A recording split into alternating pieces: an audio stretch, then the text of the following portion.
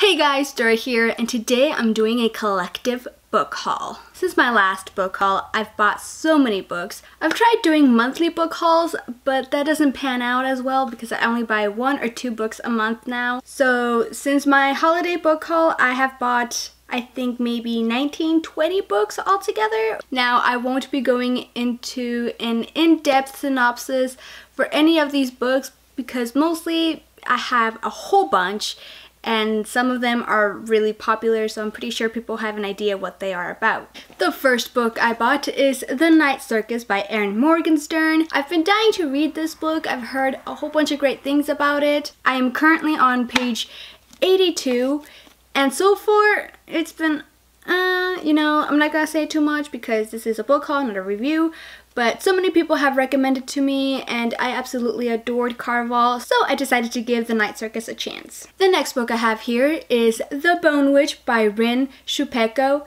I think that's how it is. Is it Chupeco or Chupeco? Oh, I am so sorry if I butchered it. I am not going to lie, this was mostly a cover buy. I absolutely adored adore the cover. It is so beautiful, purple and gold. The color scheme is absolutely beautiful. But after I bought it, when I got home, I read the synopsis and it was really interesting. It's about a girl named Tea who is a witch, but her power is necromancy, so she is called the Bone Witch. And Bone witches are ostracized and they are feared in this kingdom that she lives in.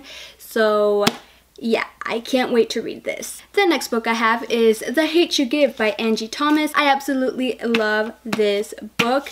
I haven't finished it. I stopped reading it at page 72 because life happened and I was working at the time I started reading it so I didn't have the time to sit down and read it. This book was inspired by the Black Lives Matter movement and the main character is Starr and she witnesses the death of her best friend in the hands of a white cop. I've heard nothing but great things about this book. It was on the New York Times bestseller list for like two months in a row, I believe, so I can't wait to finish reading this gem. These next few books I bought in a box set, so I'm going to show them all at once, and they are the Lunar Chronicle novels by Marissa Meyer. There's Cinder, Scarlet, Cress, Fairest, and Winter. So far, I've read Scarlet and Cinder. I've been dying to finish the series, but I've always put them off because I don't want to jump into another series after reading another series. Like, I just finished ACOWAR. I don't want to jump into another series. I just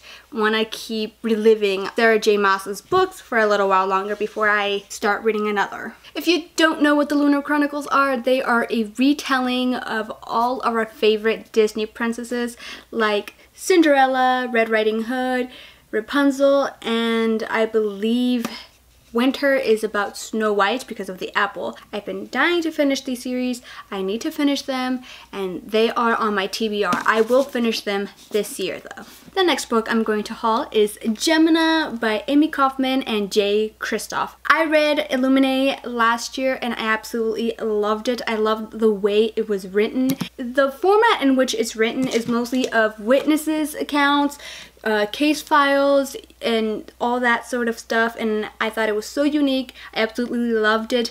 I also love the audiobook for these. I can't read these books without the audiobook. When I read Illuminae, I was reading Illuminae with the book open while hearing the audiobook because the audiobook is full cast and it's absolutely amazing. I do have the audiobook for Gemina, I just don't have the time to sit down and listen to it non-stop. The man is non-stop. Gentlemen of the Gerium trees, bear with me. Are you aware that we're making history? But I have made it my mission to read Gemina this year. I'm pretty sure I'll read it this year. Maybe not anytime soon in the next few weeks, but I will finish it this year. This next book, I got it in my OwlCrate box, and I'll leave the video of me unboxing my OwlCrate down in the description box below or somewhere in this video and the book is Daughter of the Pirate King by Tricia Levenseller. Now I haven't again read this book yet I'm trying to it's really short it's uh probably going to be a one day read so I really want to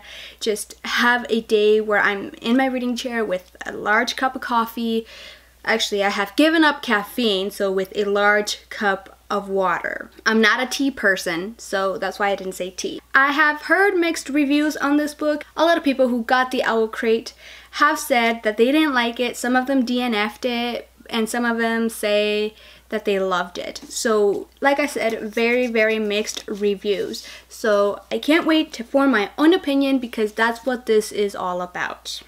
Forming my own opinion about books who people say they hate. These next two books I actually bought in a box set because the third one came out like that same day I bought the box set. So the books I bought in the box set were The Red Queen and Glass Sword by Victoria Aveyard.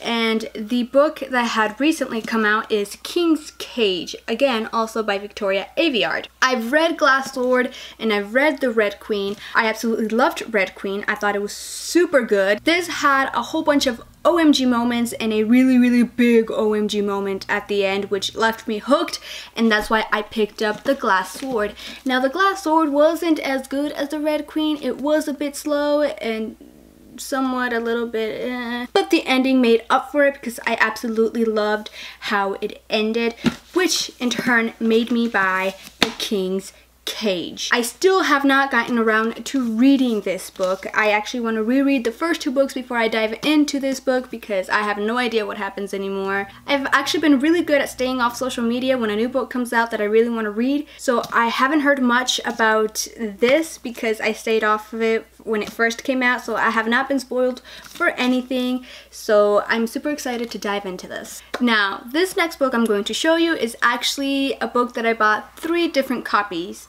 of the same book because when you're on booktube and you have the money for it you do what you want with your money and that's what I did.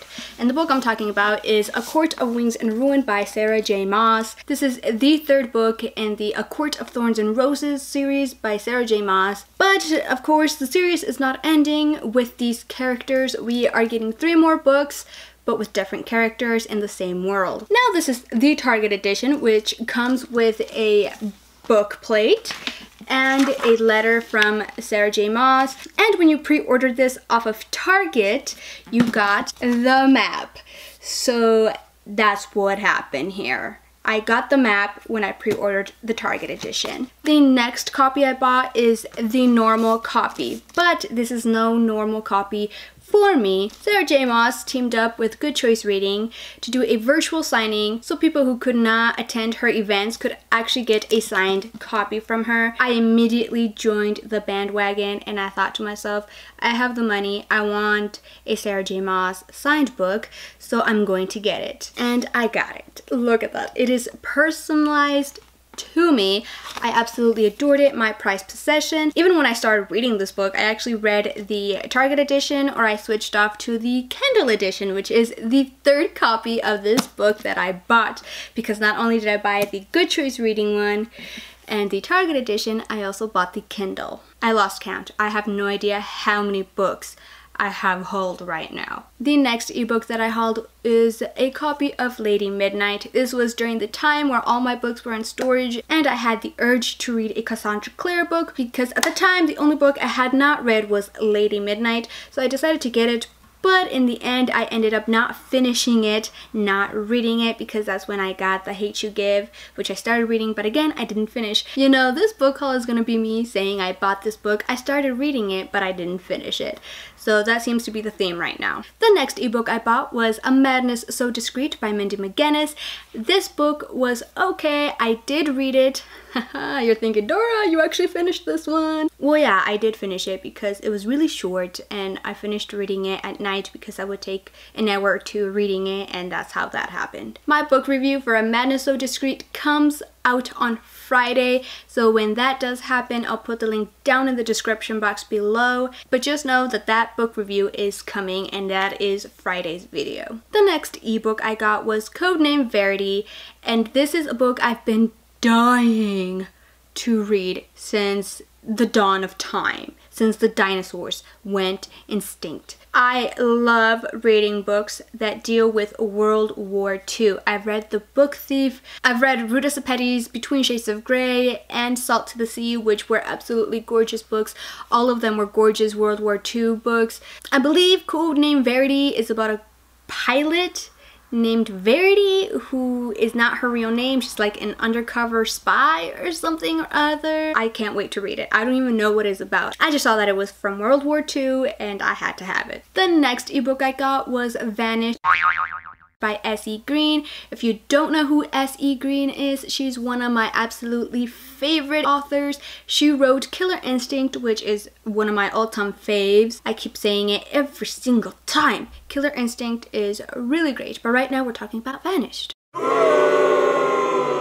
I have not yet read Vanished. I bought it, I believe, a few months ago. I just have never gotten around to reading it. I think I got to like maybe two, three percent into the book and then I just stopped reading it. But like I said, this year is going to be the year where I finish reading a whole lot of books. This next book is also by S.E. Green, but she wrote it as her real name, I believe, Shannon Greenland.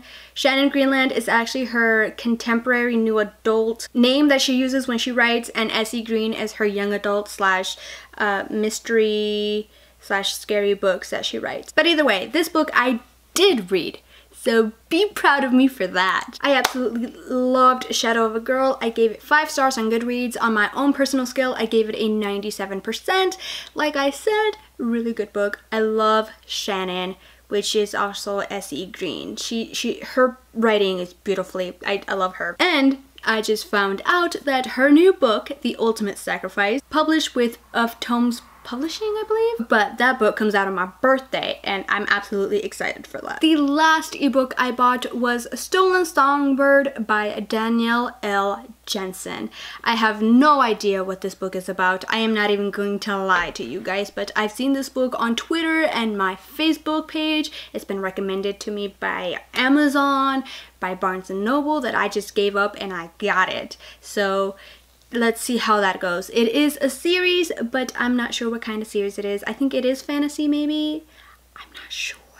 Alright, you guys, if you stuck with me this long, this is the last book. This is the last, last book that I have gotten, and that is the new release, a very, very new release that's the sequel to Lady Midnight, and that is Lord of Shadows by Cassandra Clare. I have not read Lord of Shadows because I have not read Lady Midnight, so that's not gonna happen anytime soon, especially now since I decided to reread all the Infernal Devices series and all the Mortal Instruments series books because I really want to be immersed into the Shadowhunter world and I really, really want to know what's really going on and not be like, huh, what are they talking about? Is this like something that's supposed to be in the Infernal Devices series or in the Mortal Instruments series? Like what, what kind of reference is that?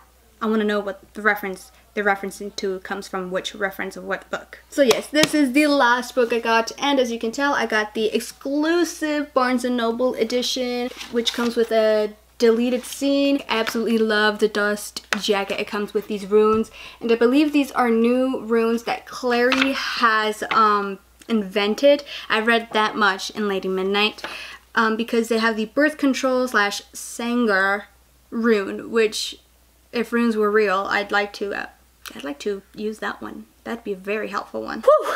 That was so many books and I'm not going to try and pick them up mostly because I did try for the thumbnail but I got wounded.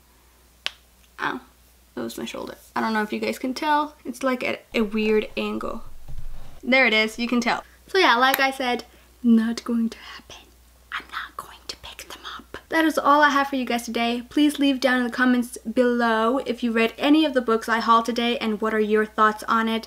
And as usual, no spoilers please. Thank you guys for watching. Please make sure to give it a big thumbs up if you liked it and subscribe if you want to see more of my face and I'll see you in my next video. Bye!